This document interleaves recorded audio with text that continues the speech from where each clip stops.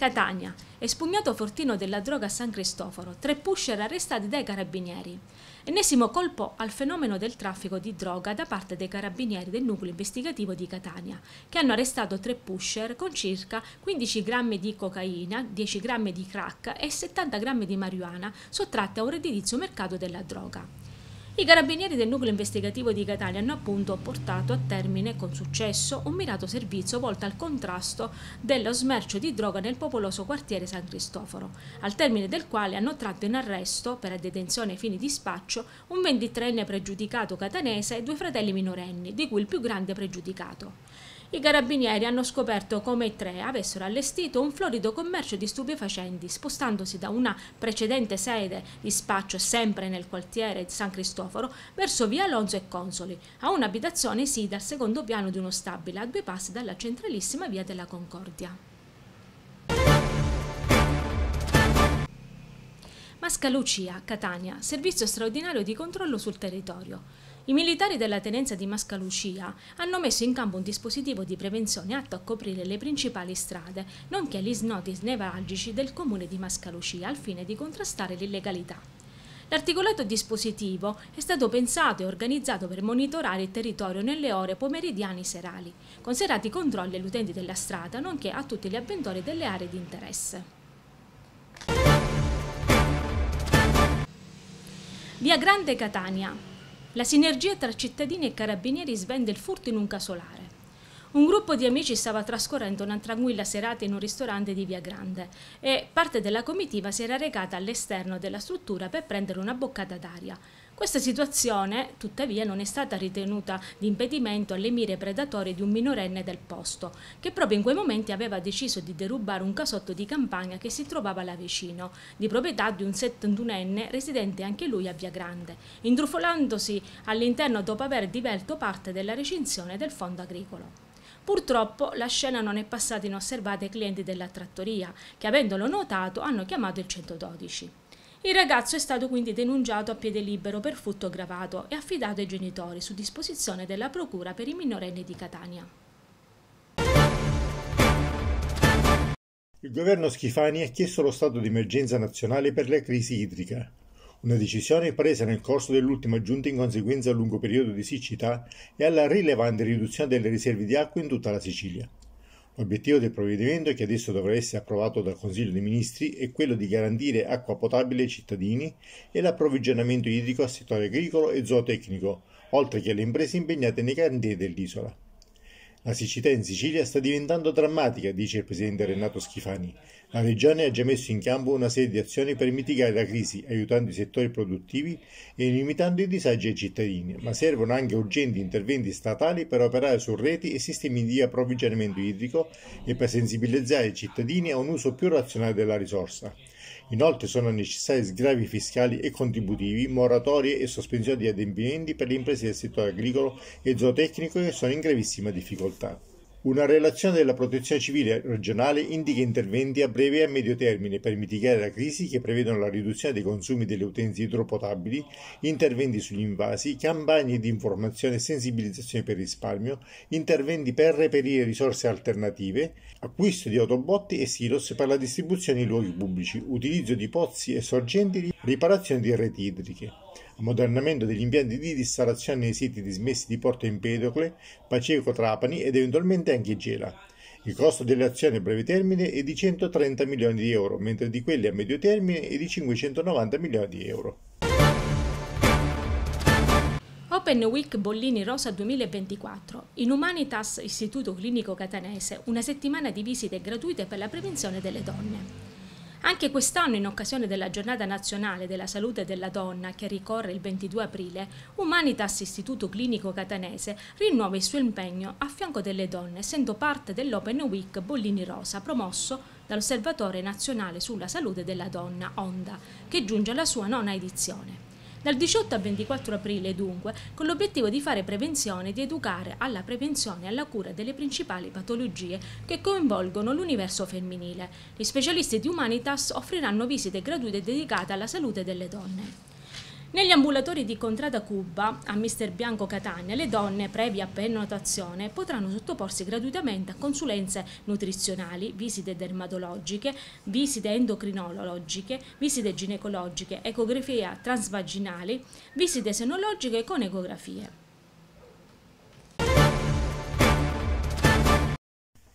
Il titolare di un autolavaggio, un 43enne catanese, è stato denunciato per violazione delle norme in materia ambientale, poiché al termine dell'accesso ispettivo da parte dei carabinieri è stato accertato come l'impresa fosse esercitata in assenza di controllo degli scarichi delle acque reflue industriali e in carenza delle autorizzazioni allo scarico. Nella circostanza l'intera area adibita ad autolavaggio e tutte le relative attrezzature da lavoro sono state sequestrate ed è stata disposta la chiusura definitiva dell'attività.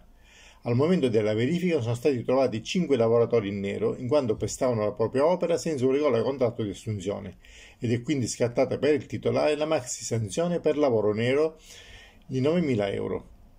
Il 43enne è stato anche sanzionato amministrativamente per un importo complessivo di 8.500 euro perché totalmente sprovvisto delle prescritte autorizzazioni tra cui la SCIA, nonché quella attinente alla conformità urbanistica, edilizia ed igienico-sanitaria e del formulario per i rifiuti speciali.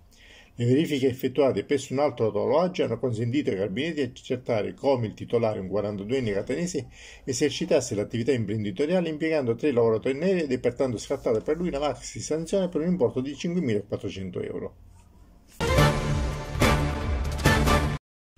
Naufraga un barchino in area Salta Maltese a 33 miglia a sud-ovest di Lampedusa e la Guardia Costiera di Lampedusa recupera 45 migranti e il cadavere di una donna.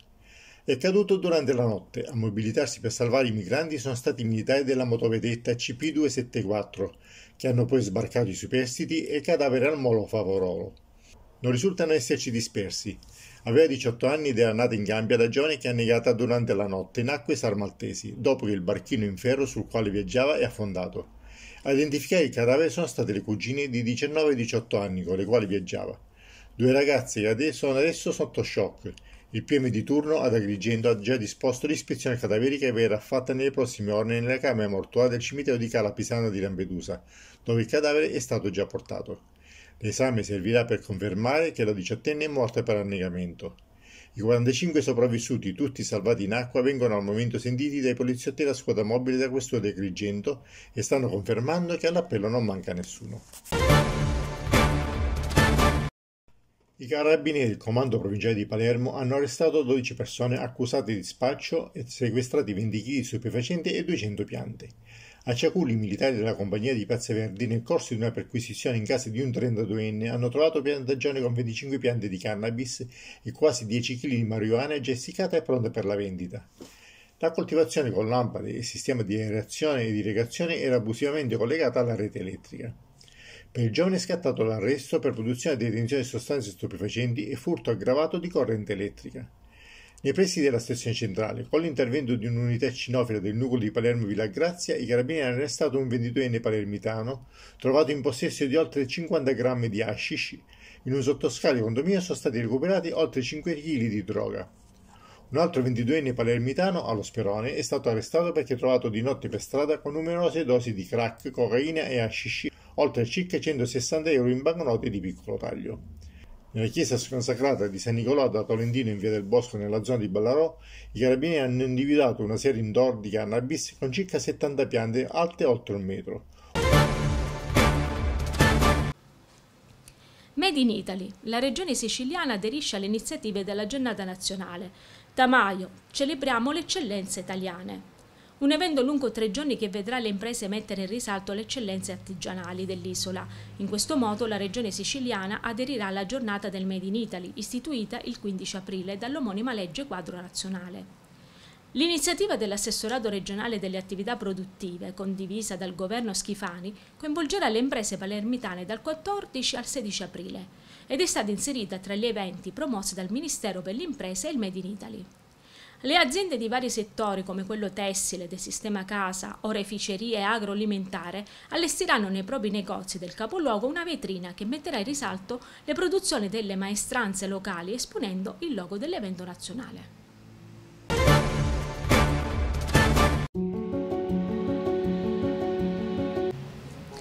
Archeologia. Copertura del teatro di Eracle Aminoa ecco l'idea vincitrice. Scarpinato, obiettivo è la valorizzazione del sito. Una sorta di tetto e giardino per coprire i resti dell'antico teatro di Eraclea Minoa nell'Agrigentino. E questo è il fulcro del progetto che ha vinto il concorso di idee indetto dal Parco della Valle dei Templi con il coinvolgimento dell'Ordine degli Architetti d'Agrigento. L'obiettivo è proteggere l'area degli agenti atmosferici e dall'azione del tempo, ma anche non ostacolare la vista dell'antica cavea, valorizzandola attraverso percorsi accessibili a tutti. La commissione valutatrice, dopo aver selezionato quattro proposte, ha decretato vincitore lo studio Cellini di Padova, guidato dall'architetto romano Francesco Cellini. Secondo classificato lo studio Orliac Battle di Barcellona, terzo lo studio Camerana, Orbila Engineering di Torino. E quarto lo studio Luca Giardino di Milano non solo giusto ma è doveroso perché ricordo a me stesso e a tutti quella che è la mission dei beni culturali, ovvero la valorizzazione, la tutela ma anche la fruizione. Noi in questo contesto riusciamo tramite un combinato disposto a tutelare il bene ma nel contempo a renderlo ancora più fruibile. È un momento importante a testimonianza della strategia che si sta ponendo in essere, la strategia afferente ai beni culturali che vede i nostri siti al centro del nostro impegno. Il progetto è molto complesso, quindi eh, la salvaguardia del teatro dagli agenti atmosferici lo abbiamo studiato e abbiamo oh, visto che la natura è molto oh, tenera di questo materiale e devo dire il progetto eh, ne garantisce la conservazione ma allo stesso tempo mira alla conservazione dell'abitato di Eracleamino. Abbiamo cercato di proteggerlo con una copertura più protettiva che desse più garanzie di conservazione di quello che c'è sotto, che non toccasse nulla di antico, che lo proteggesse di più, però che riproponesse sopra, essendo copertura, una forma che è quella, non che rifacciamo la cavea, non è una cavea, però chi visita passando ma ci sale sopra percepirà un po' com'era anticamente.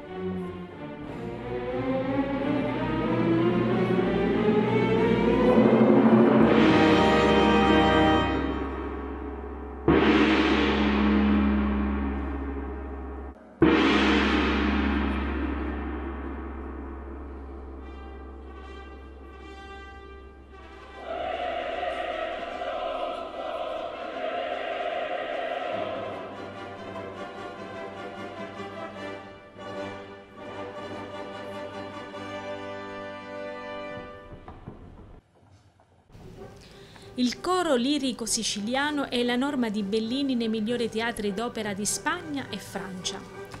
Dalla Francia alla Spagna, attraverso i maggiori teatri di Teulada, Riva Roja, Cartagena, Gandia, Torrent, Miramas, Clermont, Lugono, Merignac, Santours, Saragossa, Valencia, Lorca, Cadiz, Massì. Il coro lirico siciliano farà risplendere le magnifiche arie della Norma, capolavoro del compositore catanese Vincenzo Bellini sul libretto di Felice Romani. Uno straordinario tour europeo che dal 30 marzo al 28 aprile 2024 confermerà la vocazione internazionale del pluripremiato coro, reduce da un ampio ventaglio di successi collezionati nella Cina millenaria.